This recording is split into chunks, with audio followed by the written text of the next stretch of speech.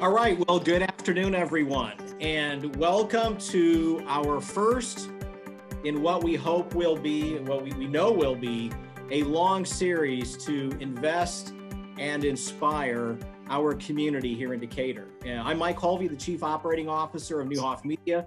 It is my honor and privilege to spend uh, this time with you today. Uh, we are thrilled to have with us a, a mentor of mine and a, a teacher of mine who you will meet here in just a few minutes. As you can see in your screen, if you zero in on John Bates, he's a little spacey, but there's a good reason why. Uh, but uh, before we get to that, we want to first remind everybody if you want to join the conversation today, at least physically, you can turn your cameras on and be a part of, uh, of what we do today. Uh, Lindsay Romano is actually spinning the dials behind the scene, much as she did for years for Brian's show. So uh, she'll get mics turned on and off as, as they are required. So, so that on the technical side, that's all uh, going to be locked down and, and ready to go. Uh, we are thrilled that we are together in Zoom, but we're also a little sad that we're not at the conference center with uh, 600 of our friends like we have been for uh, our big uh, quarterly or I guess now semi-annually events with the Community Leaders Breakfast or in, in, in the PAC Decatur Center or the, the Decatur Club. But that will happen soon enough. But it's great to see so many community leaders on the screen at any one time today. So before we get started with our presenter, John Bates, uh, it's my distinct privilege to honor and, uh, and welcome our partner uh, in Invest and Inspire, and that's Carla Miller. Carla? Hi, I'm Carla Miller, and on behalf of Hickory Point Bank, we are pleased and excited to bring you the Invest and Inspire Leadership Series, along with Neuhoff Media, to all of our friends and neighbors in the community. We hope you come away from today's event filled with a positive energy and a path for personal success. So enjoy. All right, Carla, thank you. I have a question for everyone on the call today. What was your favorite Christmas present? Now think back, you could be a kid or you can be an adult, but think back to your favorite Christmas present. For me, up until about seven years ago, it was an electric football game. I remember the excitement of Christmas morning running downstairs, and there it was. It was an electric football game. Well, that was until Beth Neuhoff gave me a Christmas present seven years ago. That Christmas present you are about to meet, because that Christmas present was John Bates. John Bates has been a mentor to me. He has been a coach to me. Uh, he has helped our company's communication skills. He's helped my communication skills. In a Christmas present that was only supposed to last three months, it has now gone on for seven years. And today you're going to find out why. So, with that, I'd like to introduce my friend, my mentor, and for the next 55 minutes, someone who's going to share knowledge with all of us, Mr. John Bates. I'm going to make a shirt that says, wait, you're on mute. Thank you, Michael. I'm going to just start by showing you my Superman outfit that's underneath my business shirt. Here we go. And I think uh, over the next 55 minutes, I will be explaining why I would do this. So here we go. Yes, it says 98.7% bonobo. And I'm trying to live up to that. And I'll explain to you what I mean. I'm going to start by pointing something out to you that I think is really important for our times in particular. And that is that we all have whites in our eyes. Now, come back with me a number of years. I'm at an event called the EG event. And boy, it's really exciting because this is the same group of people that originally started the TED conference. And so I'm there, I'm getting to meet amazing people. And I'm talking to one of the speakers named Brian Hare, who has a, a company at the time called Dognition. He taught, he, he is studying how dogs really understand humans so well. Uh, turns out, you know, 50,000 years of coevolution will do that. But he said a few things that remind me of a theory that I just read about. So I said, Brian, you know, I just read about, excuse me, the most amazing theory. Did you know? Did you know that we are one of the only animals in the world with whites in our eyes? And we're the only primate with whites in our eyes at all, the only one. And it's not even something that varies. Like all of us have whites in our eyes. It's not like some of us do and some of us sort of do. We all have whites in our eyes. And it turns out that if you sit a dog down across from you and you put its favorite food under one bucket and nothing under another bucket, and you look at that bucket, the dog will get it, right? Dog will go to that bucket every time. There's no question. It, it understands you. But if you sit one of the most brilliant, smart, big brained primates down, a chimpanzee or a, or an, or a great ape or any of that stuff, a gorilla, whatever, and you do that, it won't get it. Still 50 50 whether it gets what's under the bucket or not. And it turns out that we gave up whites in our eyes at a great cost, right? Because when you've got whites in your eyes, now you're not on video. You could come on video if you want. I'd love to see you, but I'm on video. So now look, can you tell where I'm looking? You can tell where I'm looking, right? Even from kind of far away, you can tell where I'm looking. And that means that we gave up being sneaky because if you could if we didn't have whites in our eyes it would be much harder to tell where we were looking. You wouldn't know as well what we were thinking. Wouldn't give ourselves away so often. But we traded the ability to be sneaky. Thank you for coming on camera. Great to see you. Love to see you if you want to come on camera. I'm having a bad hair day so it doesn't get worse than this. Um, so whites in our eyes it turns out we gave up having dark eyes and being able to be sneaky much better in order to have these whites in our eyes so that we could better see what each other were thinking and better cooperate. That's why we have whites in our eyes, and no other primates do, almost no other animals do. And so it turns out that cooperation is one of the absolute fundamental evolutionarily, you know, evolutionary biology traits that differentiated human beings. It's why we're so successful. And he said, Yeah, John, that's my theory.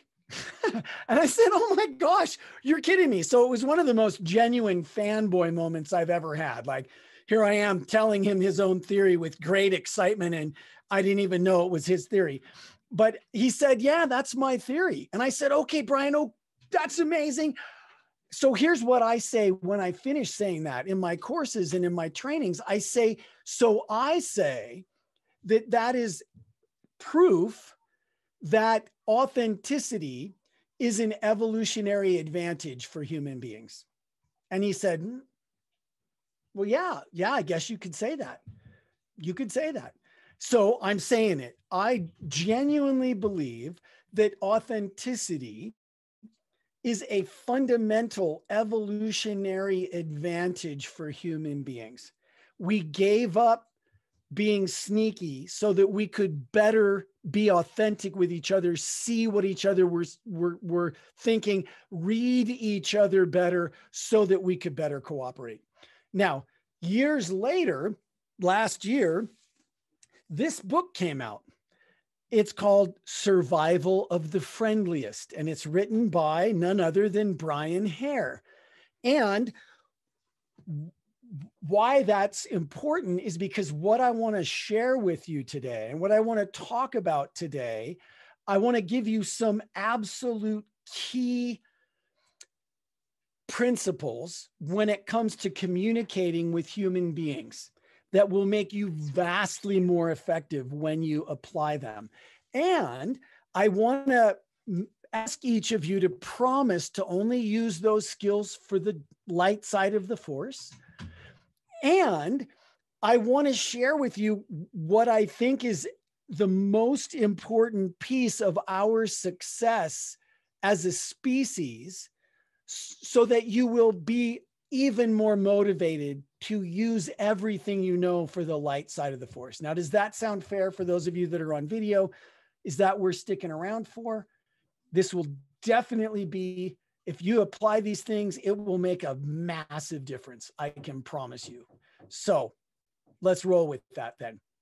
Okay, so you know the reason I have this shirt on is because bonobos are almost exactly like chimpanzees, but the big difference is bonobos will radically cooperate.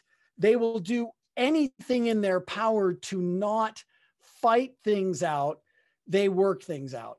Chimpanzees, on the other hand, they'll just fight.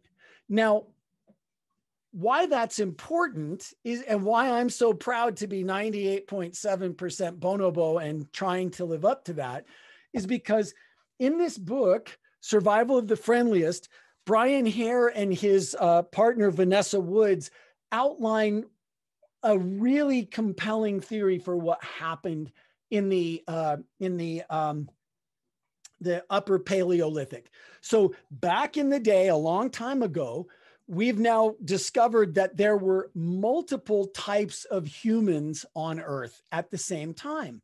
There were Homo sapiens, like all of us. There were uh, there were um, Neanderthals, and by the way, I if you want to know a throwback, you know me. I have more Neanderthal DNA than 98% of people on 23andMe. I don't think I should necessarily brag about that. And the funny thing is, my brother, my blood brother from both of the same parents, he only has more Neanderthal than 31% of, of people on 23andMe. So I'm a Neanderthal. It's kind of maybe where I get the brow ridge. But um, there were Neanderthals. There were there were other species like Denisovans and they were all we were all living on earth at the same time in the paleolithic and then in the upper paleolithic the later paleolithic something happened and all of a sudden all of those other species of humans either got wiped out or just incorporated into homo sapiens and homo sapiens took over the entire planet. What happened? Here's what happened. We developed whites in our eyes and we got more friendly. Brian and Vanessa and a lot of their colleagues think that one of the most destructive things for human thinking is when Darwin came out with evolutionary theory, people started talking about survival of the fittest. And what everybody envisions is the biggest, strongest, most dominant, mean, that's not at all what fitness looks like for human beings. What fitness looks like for human beings is whites in our eyes, the ability to be friendly across multiple tribal groups versus every group that encounters each other having to fight. One of the really big things that we see in the record is we started to be able to be friendly instead of fight with other tribes that we had decided we wanted to be affiliated with through trade or other things like that. That is fundamentally what set us apart from every other creature on earth is our ability to be friendly. So that friendliness, that cooperation, that collaborative nature that we have, that is our secret weapon. And I hope it's okay for me to just say this out loud, but I feel like in large parts of our daily conversation and our news conversation and our social media conversation, we have forgotten how much we need each other, whether we agree on every single thing or not. And that, I think, is an existential threat to both our country and our species. I'm going to say that again because I don't think it's an exaggeration in the least. I believe that forgetting that we need each other and that collaboration and being friendly and at least being able to interact with each other without massive conflict, that is utterly crucial to our survival, both as a nation and as a species. So, keep in your mind and if you want a great book recommendation i don't get paid for this you know this survival of the friendliest is one of the best reads that i i have read in a long time and i highly recommend it. And so with that background of friendliness being our single most important tool differentiator survival skill I want to step into sharing with you some of the things that I get to share with the with clients like Mike. And you know, uh, just because it was a bucket list, and I and I it just I can't even I can hardly believe that I get to say this, but I got to train all the U.S. astronauts, and in fact, just got a call from space the other day from the guy who's the the commander of the International Space Station, and um, and please keep it in just this group. But he told me that he and Victor Glover, who's up there as well, were talking about working with me, and they were sharing each other's you know stories with each other, and really thinking about how to craft them and reminding themselves again of how important stories are for human beings and interacting with human beings. So um, these are things that I've that I've shared with people at Navy uh, special operations at NASA with the astronauts, with Johnson and Johnson, with Boston Scientific, with with Mike uh, Hulvey and his team at Neuhoff Media, all over the world. And I want to share with you just a couple of the most key things. And I know from the last more than 10 years of doing this that if you take these on, they will dramatically amplify your effectiveness. They will probably make life more fulfilling. Not that anything changes much, but you bring these things and they'll also make it a lot more fun. So let me start by saying the thing that I think is one of the most important things that I ever share with anyone, and then we're going to unpack it. I say communicating with human beings is not logical. Did you notice? Communicating with human beings is not logical, it is biological. And when you understand the biology, you can make it logical again. But if you go into a situation thinking that logic by itself should win, you'll just never be as effective as you could be if you got that there was something else that's necessary too. So let me share with you the neurobiology that underlies that. If you look at a human brain, at a cross section of a human brain, any normal human brain like you, me, Mike, Brian, Carla, Michelle, Beth, okay, if you looked at that brain, you would see that there's the brain stem that goes into the spinal column. And then wrapped around the brain stem is the midbrain. And together, these two pieces form what's called the paleo mammalian brain, or the limbic system, or the emotional brain. Those three things are all the same, three names for the same piece. And I like paleo mammalian brain because it gets the point across that this is old, it's been around for a long time. All mammals have it. My service dog Flash, who just passed a little while ago, he had a paleo mammalian brain. The horse that you like to ride, the dogs, the cats, all, all mammals have a paleo mammalian brain. And it is uh, the part of our brain that's been tasked with keeping us alive. And then wrapped around that brain is the neocortex, the cerebral cortex. Now, neo means new, like it's similar to Neuhoff, new house, right? Um, so, or, or new new farm, I guess, is a hoof. But neo means new.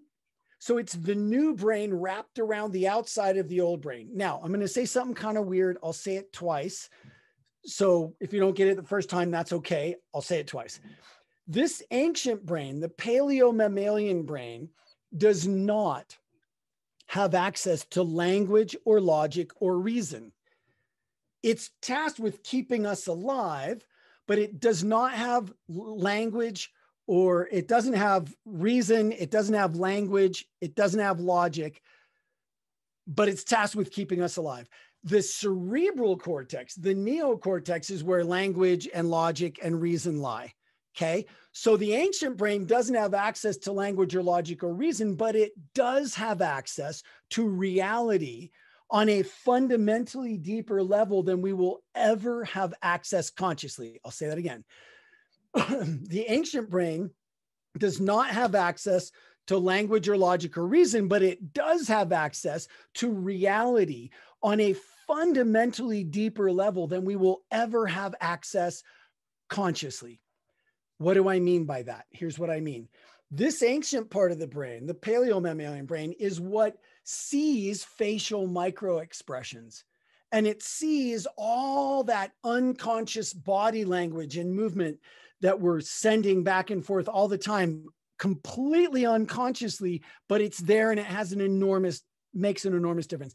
It also smells pheromones so we know we're all we're consciously constantly sending messages back and forth to each other through pheromones. This is the part of the brain that perceives that but it can't just tell us about that because it doesn't have language. So the way it communicates with us is through gut feelings. You've had those before right oh i just i don't know i just it feels right to me or doesn't feel good or like oh no that's not i don't know why but it just doesn't feel right. Oh yes it does feel it feels great. Yes i don't know what it is but i just got a good feeling. That is your ancient paleo mammalian brain telling you about what it's actually perceiving. It notices patterns in things long before we ever would notice consciously, smells pheromones, sees facial microexpressions. If you get a good feeling about that person, that's probably a good signal. That's probably a good thing to listen to, right? Your mom probably told you, trust your gut. And if she didn't, I'm telling you now, trust your gut. That's good information. It just comes to you through gut feelings because your ancient brain can't talk to you, it doesn't have language. But we all think that we're logical, right? Come on, don't we? Most of us, come on. I'll make the logical choice, John. You know, that may be true, but I'm going to weigh things out. I'll check the boxes. I'm a logical person at the end of the day.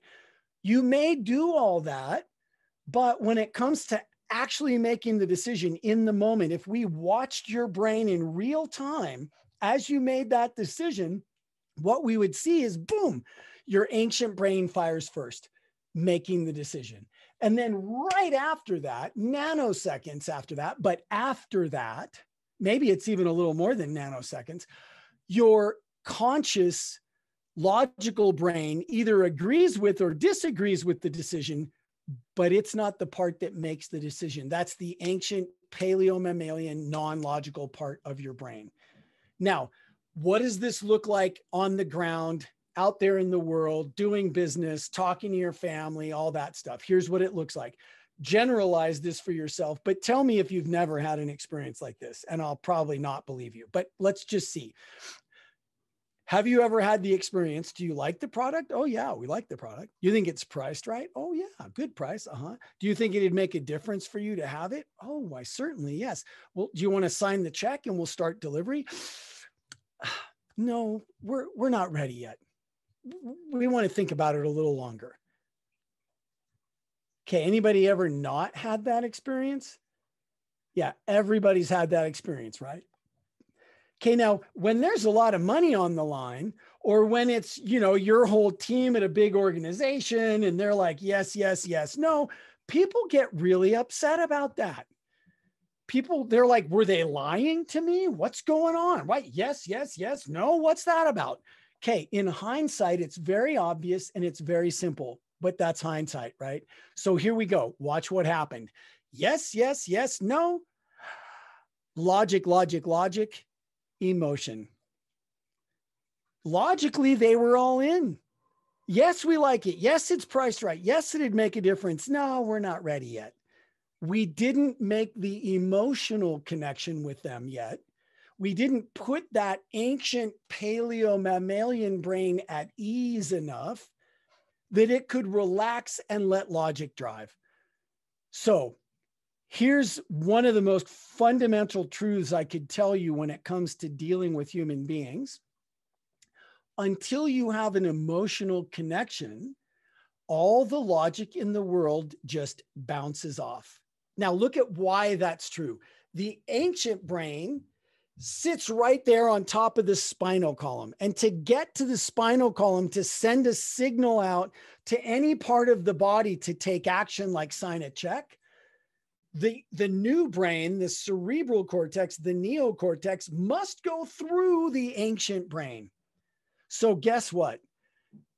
If we don't put them at ease, if we don't make that connection with them, if we don't have them feel like they're somehow in the same tribe with us and we care about similar things and have a connection, that's what we're always going to get. Yes, yes, yes, no that yes, yes, yes, yes comes from also having the emotional connection. Now, it's on you, right, to get the first three yeses. Logically, your business plan has to make sense. Logically, your your the thing that you're selling needs to help the person that you're trying to sell it to.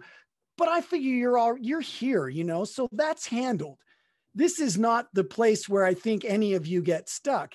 This is the place where I see all kinds of people who are competent, amazing people with wonderful things to offer get stuck. And it's because we didn't make that emotional connection. So, one of the key ways to do that, because look, we could go on, you want to come do a week long class with me and we'll look at all the ways you could do that. But one of the key ways, one of the fastest, easiest ways that I think will stick with you is small talk has been misnamed. Small talk has been misnamed. Small talk is not small talk. Small talk is big talk. The reason we're confused about it is because it genuinely doesn't matter what we talk about. That's true. But what matters is how we talk about it. And that we talk about something that connects us. Does that land? Does that make sense to people that are on video? Give me a nod. Yeah. So small talk has been misnamed. Small talk is not small talk unless you treat it like small talk, then it could make no difference. But if you treat it like it's big talk and you look for those ways to connect and put the other person at ease and talk about things that you have in common that matter to you both in a way that connects you, that's huge. Good? All right. So now, do you want the second big piece of neurobiology for communicating with human beings? Do you feel like, like, does you know to those of you on video at least does this make sense? Is there is there something that you really don't get about this? You're, like wait wait john what about? Or does this make sense? Make sense? Okay good. So let's go on to the next big piece of neurobiology. And that is something called mirror neurons. Now to, if anybody on here is a real science dork, yes, there's a little bit of, of of argument still going on about what the actual physiology of this is, but there's zero argument about the outcome. So, whatever's going on in there physiologically, we have mirror neurons, and they are neurons in our bodies that have us feel what we see other people going through. They have us feel that. So if somebody walks in the room and they're happy, woo, we're all happy somebody walks in and they're sad. Oh everybody's sad. What's wrong? Maybe maybe they lost the lottery and i won but i'm still sad for that moment because they're sad right? And if i were doing a cooking show for you instead and i had big purple carrots and a big old butcher knife and i was chopping up the purple carrots and i'm telling you about the benefits of the anthracite okay now you're all so cute, the ones on video. Okay, I even jump, right? But I want you to notice I didn't have purple carrots. And I don't have a big old butcher knife, but you jumped because you have mirror neurons. I jump when I see the video of myself. I can't help it. That's how powerful mirror neurons are. And they are always on. And here's the thing that I think we didn't get told enough they are always mirroring you. They're always mirroring you. When you walk in the room and everybody turns to look at you, they're mirroring you. When you raise your hand and then you start to share in the meeting, they're all mirroring you. When you are at the top of the hierarchy, Mike Hulvey, they're always mirroring you, which is why it's so important to have leaders like you and Beth, by the way. I can think of some companies I won't name who have the opposite and it, you know, a fish stinks from the head down. It also smells good from the head down. So people are always mirroring you, whether you realize it or not. And here's the thing. This is, in my opinion, scientific proof for the fact that you always get what you put out. Think about the people you know no pointing here okay? No no naming and shaming. Think of the people that you know that are grumpy all the time right they walk in the room everybody gets grumpy. Er, they grump around for a while everybody grumps around for a while. The minute they leave we're fine again. But they think everybody's grumpy all the time everywhere because that's what they bring. Does that make sense? So they're always mirroring you. Now, I'm going to tell you my experience as a speaker, but I want to ask you to please generalize it to your entire life because what happened for me when I took this on, particularly in the realm of being a public speaker, was that it affected every area of my life. And it really felt like Jedi mind power. And I don't mean Jedi mind tricks, I mean genuine Jedi mind power. Like these are not the droids you're looking for. These are not the droids we're looking for. Move along. You know, like it was unbelievable the impact this had for my experience of my life and how malleable reality became. They're always mirroring you. So here's the thing give them something good to mirror. Once I took that on, I never had a bad audience again we've all had bad audiences, right? Even Mike Hulvey, unlikely as it would be, I'm sure he's at least had one bad audience in his lifetime. He doesn't have them anymore either. I never have bad audiences because the minute it even looks like it's turning into a bad audience, I don't blame them anymore. I look over here and think, what can I do to give them something even better to mirror? I never ever let them pull me down, I am constantly standing on higher ground, pulling them up if I need to. Looking at the people that are lit up, taking that energy from them gratefully and getting it on the people that aren't quite lit up, you know? And if you take this on in your life, that they are always mirroring you and you just need to give them something good to mirror, it's like Jedi mind powers. It's staggering. And it is a fundamental function of what it means to be human. We have mirror neurons. We cannot help but mirror each other. The thing that you can do, though, is very consciously maintain the high ground and have people bring people up with what you're giving them to mirror. Now, does that make sense? One of the best speaker things I could ever give you also one of the best leadership things, right? And and in in the leadership realm, and by the way, you're all leaders. I don't care where you are in the hierarchy, you are leaders in your lives, in your families, for yourself, in your community. This is just one of the key things. If you take on that they're always mirroring you, now, not like it's your fault, not that, not that, but if your team is not getting great results, you could start asking how you could give them something better to mirror. What is it I'm doing over here that has them getting those bad results? Right. And how could I alter what I'm giving them to mirror so their results would improve? Not like it's my fault, but I could take responsibility for it. And that gives me access to impacting it. Right if you're not responsible for what they're doing, then how are you ever going to impact it? Right. But if you take responsibility just out of generosity, not like you're at fault, but you are responsible, and you look at it that way, it gives you a whole new set of things to access to actually impact their results. And I don't just mean at work, I mean in your community too, right? how could we all be responsible for giving other pe- people better things to mirror, right?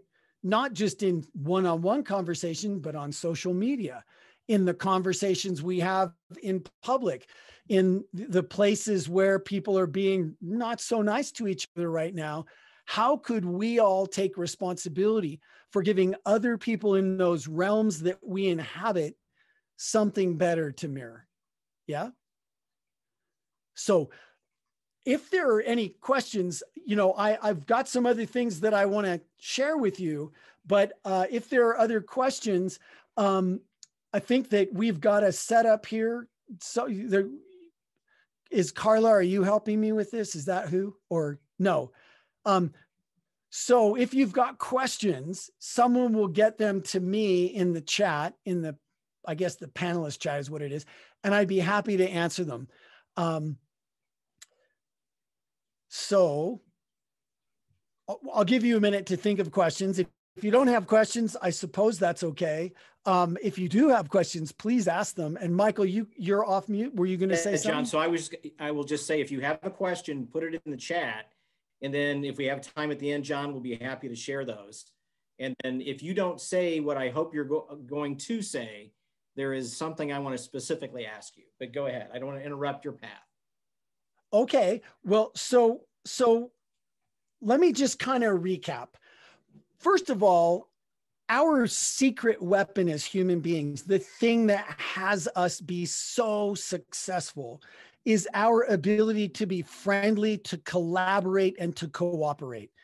And without pointing fingers at either side, I genuinely believe that we are way off track in our country with that right now. And that is the collective behavior of hundreds of millions of each of us. So the only way that we can really impact that is by impacting who we're being and how we're showing up and taking on giving the people in the spaces we inhabit something good to mirror. And we need to make those emotional connections because all the logic in the world bounces off. You know it's one of the big problems that i have with science communicators is they try so hard to be scientists and look good that they forget to talk to human beings and then stuff goes really awry. I do a ton of work with people at johnson and johnson and boston scientific people in that science realm who are more interested in checking the box they heard it than just checking the box i said it right? So I would offer that to all of you. you by the way, my results changed completely because I used to be really interested in checking the box. I told you so, right? I said it because then I could say, I told you so. Oh, I told you so. I told you so. Oh, I, you know, I didn't I tell you. But guess what? That didn't help my results at all. It just let me be right and make other people wrong, which is really actually not very helpful at all. But when I started to get interested in checking the box they got it, I landed it over there. That's when my results started to really change for the better. And so, you know, how can we all bring that to the places that we inhabit with the with the fundamental understanding that I think it is our our it's it's crucial to our survival as a country and as as a species. So if you can manage to bring more kindness and collaboration, you are doing the entire human race a favor. So, and I think it's incumbent on us because if we don't do it, who's going to do it? And then the second piece is, uh, you know, the paleo mammalian brain and the logical brain.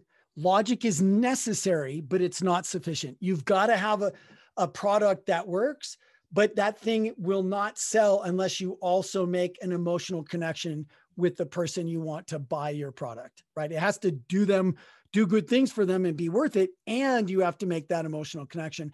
And then third we all have mirror neurons and they are always mirroring you. It puts you in the driver's seat of what's going on in your life and it is one of the most powerful things that I personally ever took on in my whole life it will blow your mind how many opportunities you will find if you keep yourself present to the fact that they're always mirroring you.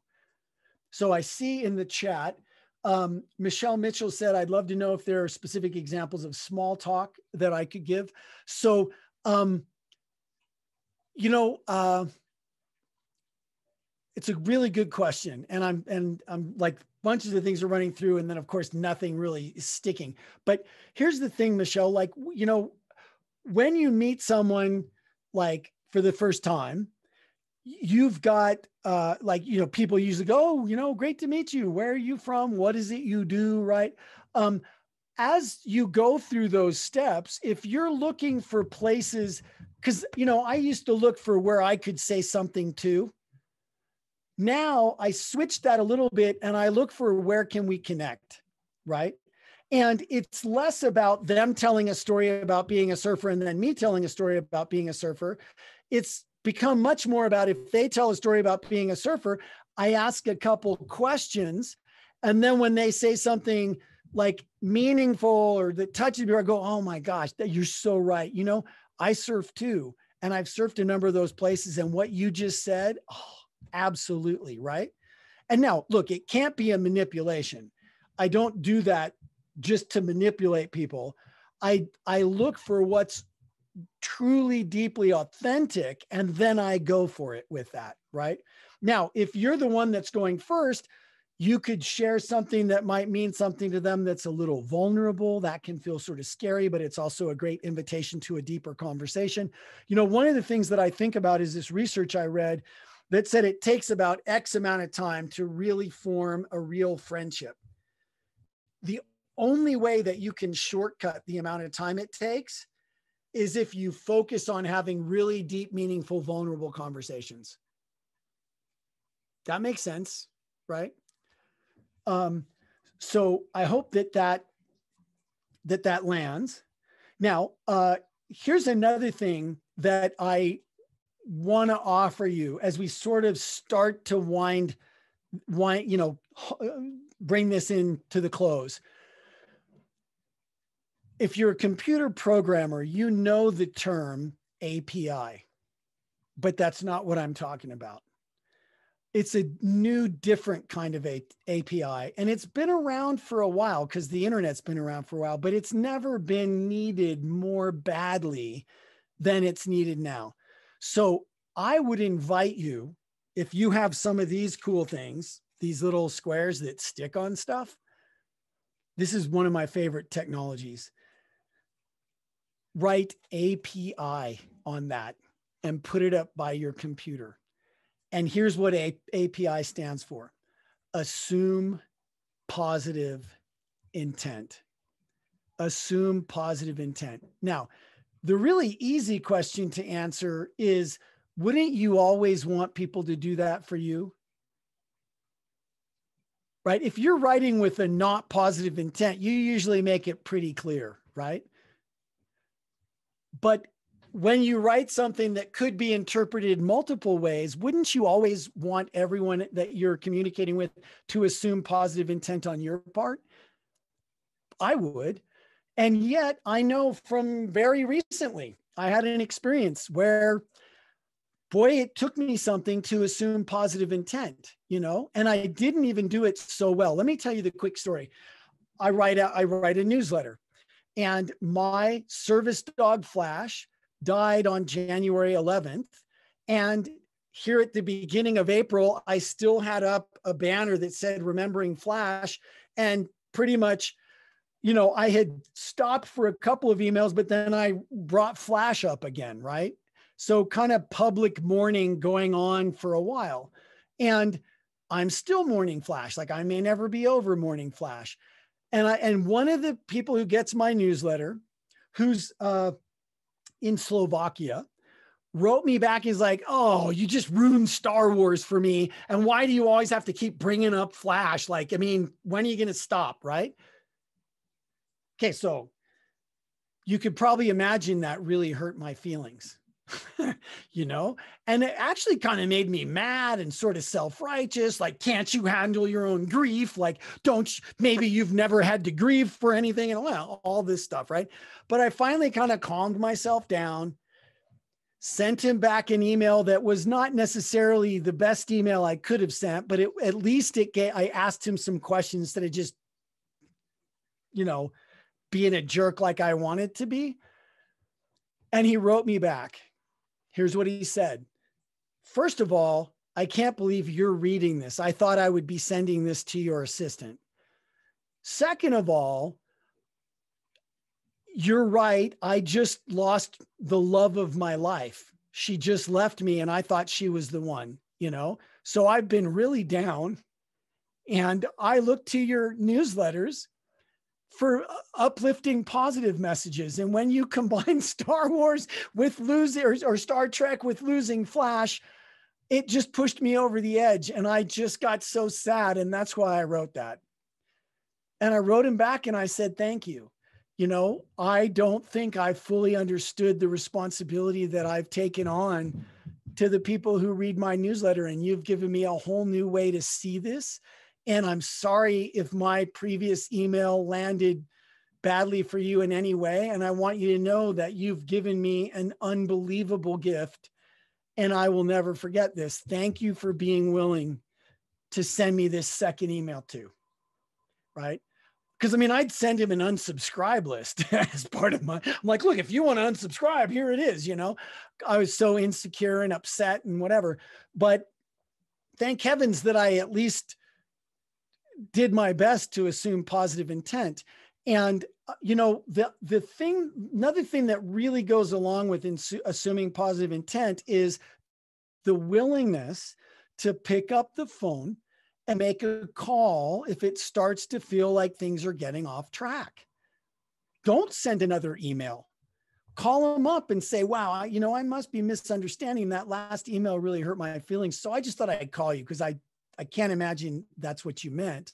How, how's everything over there? What's going on? You know, that pick up the phone and call before you assume something is is going wrong is a huge thing. So, you know, the sticky note API and the willingness to make a phone call versus shooting off a heated email, that is another great, great, great place to come from. Now, I, I see a question. Um, I heard that you have a perspective on how the astronauts see the Earth when they return. Can you explain? Yes, this is something that that you know people are all over the map about their opinion about COVID and lockdowns and masks and stuff. I have my opinions too. Those are not what I'm going to bring here. What I will say is that I got a chance in late 2017 to train all of the active astronauts. And I, I made friends with a number of them. They're some of the nicest people on Earth. Like, that's one of the prerequisites you don't get to become an astronaut unless you are genuinely likable. And boy, are they. Um, made good friends with a number of them and have had at length conversations with them. And something that comes up every time is this idea of what they call the overview effect. Because from what I understand, I, I, I would love to experience it myself when you get out, when people get out into space and they're in orbit and they get a chance to look down and see the entire Earth in all its color and beauty and high definition that's even better than your monitor, right? And they see the blackness of space and the absolute aloneness of this beautiful gem of a planet it changes them.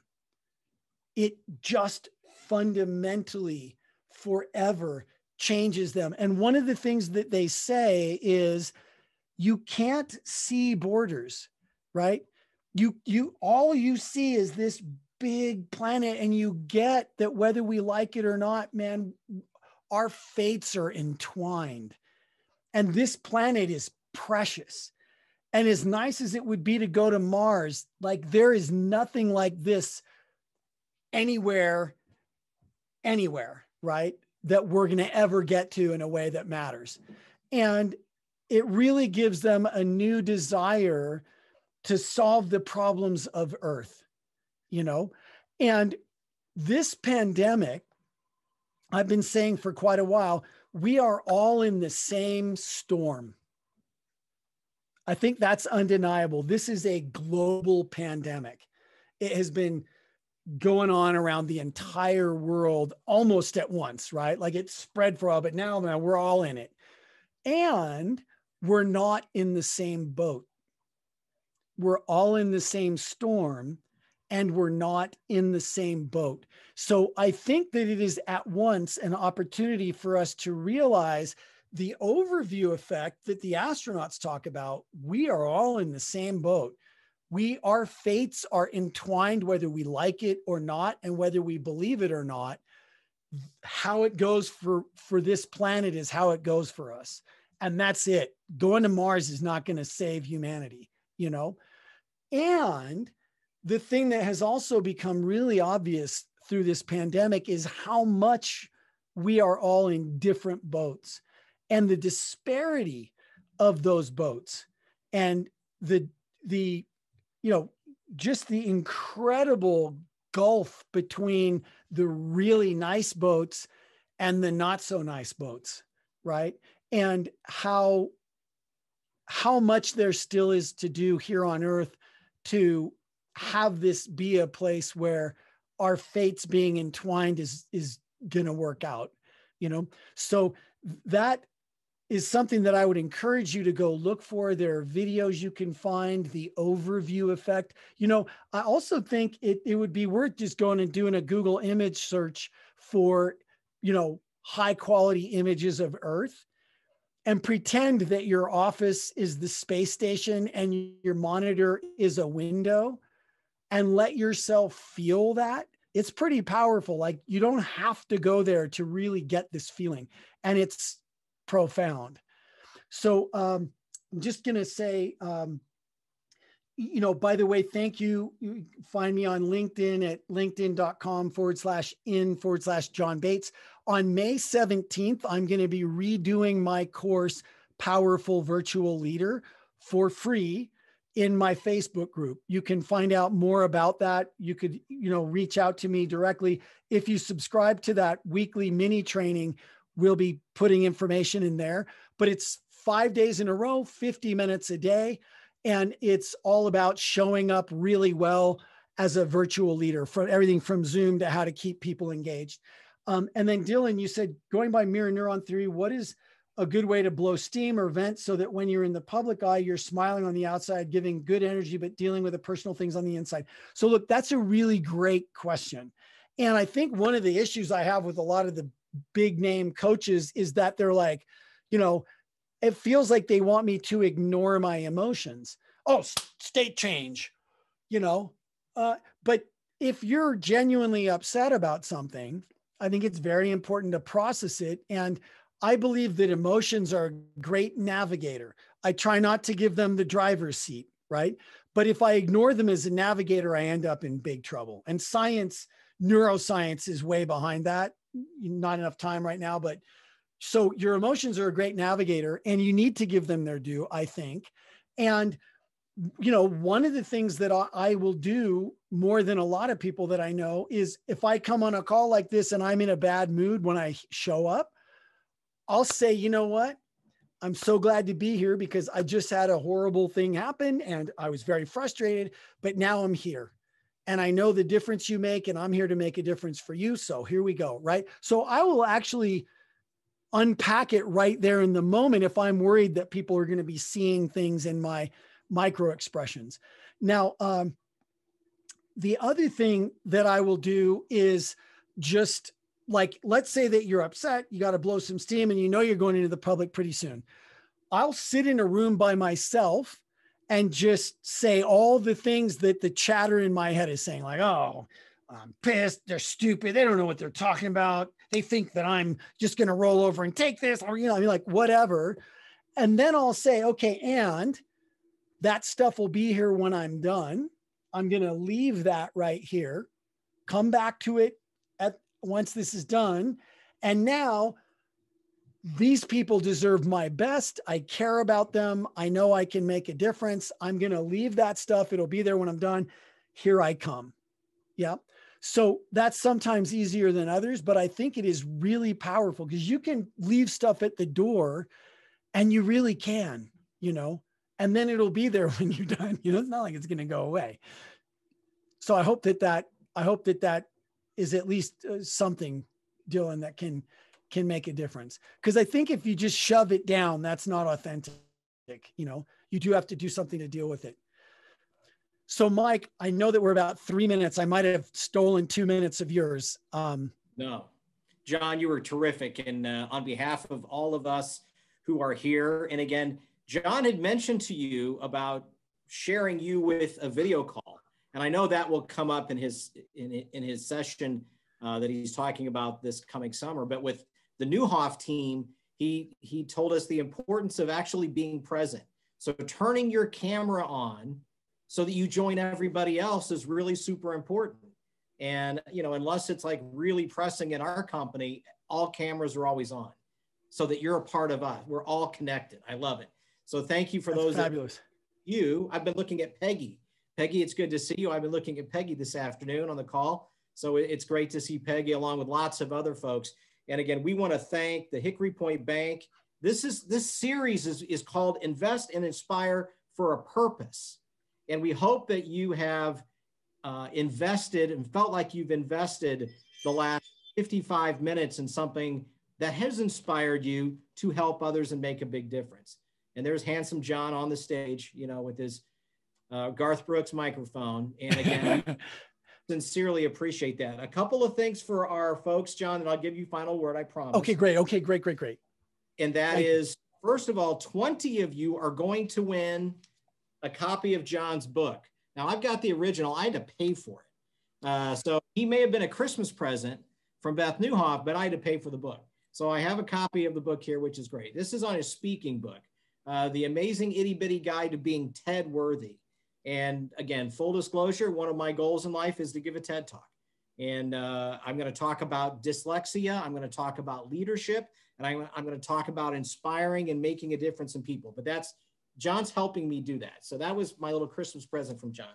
So we want to make sure that you have an opportunity, or at least 20 of you will have an opportunity to receive the same book. So uh, we have a Kindle version. 20 of those are going to be awarded to individuals who are on the call today. You are being selected at random. You will receive an email and uh, from this, uh, this web address. So don't delete because you're deleting a free book. Uh, you want to accept it. And then also, and it's very short. it is, but it's impactful. Look, you know, it's not very thick, but it's impactful. And then uh, this session has been recorded. You can tell on the upper left-hand part of your screen. It will be available on nowdecatur.com. So you will be able to uh, impact that as well. So that's the uh, the housekeeping part of it. You've you've invested an hour on behalf of the Hickory Point Bank, the Neuhoff team, now Decatur. We really appreciate it. John, you get the final word. I want to just share with you a Maya Angelou quote, and I want to ask you to think about if it sounds different now than it would have sounded at the beginning of our time together. She said, I've learned that people will forget what you said, people will forget what you did, but people will never forget how you made them feel. So I hope, first of all, that that sounds totally different and even neurobiologically sound to you now. And I hope that I've made you feel really inspired by what you bring to the world and the difference that you can make by sharing yourself, by being kind, by giving people great things to mirror, and by being willing to be the one in the conversation that looks for those places that you can connect emotionally. Thank you. Thank you, John. Again, this is the first in the series. So, in about three months, be looking again, and you will have a further opportunity again to invest and inspire with uh, Hickory Point Bank. And again, thank you, Carla and the team. We very much appreciate it, and we are getting you out on time today. Have a wonderful Thursday afternoon. And again, we'll see everyone very soon. Thank you, John. You're welcome, and thank you too.